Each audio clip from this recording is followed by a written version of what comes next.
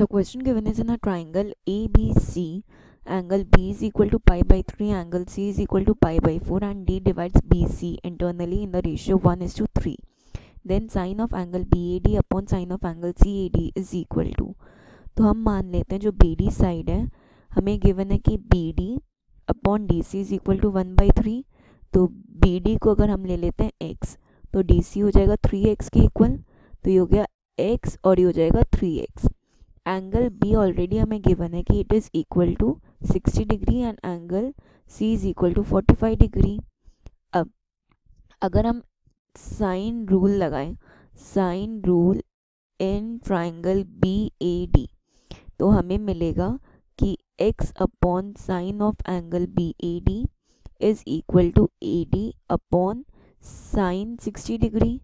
that means A D की जो value है वो हो जाएगा sine x into sine sixty degree upon sine of angle B A D that is equation number one अब, अगर हम लगाएँ sine rule in triangle A D C तो ये हो जाएगा three x upon angle C A D is equal to A D upon sine forty five degree that means A D is equal to three x into sine forty five degree upon angle sine of यहाँ पे sign होगा angle C A D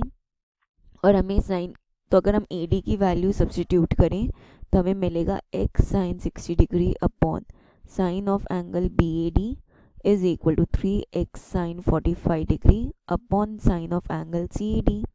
और हमें ratio में find करना है sine of angle B A D upon sine of angle C A D तो ये हो जाएगा x into sine sixty degree is equal to three x into sine forty five degree is equal to sine of angle B A D upon sine of angle C A D तो ये x से x cancel out हो गया।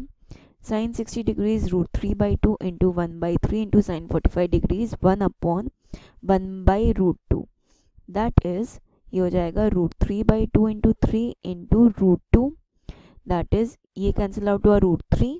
ये cancel out हुआ root two that is one upon root six is equal to sine of angle B A D upon sine of angle C A D so this is our required answer अगर हम option check करें तो option one is the correct answer